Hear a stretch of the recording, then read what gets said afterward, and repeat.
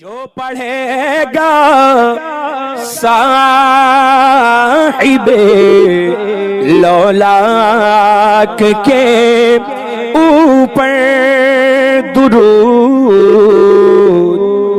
आग से महफूज उसका तल बदन रह जाएगा।